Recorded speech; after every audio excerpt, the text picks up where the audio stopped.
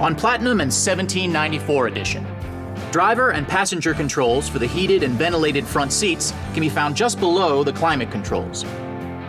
Start with the engine on. To turn the seat ventilation to high, press the left side of the rocker switch. Notice the icon appears in the climate control display. The bars indicate the fan speed. Press it again for medium. Once more for low. And one last time to turn it off.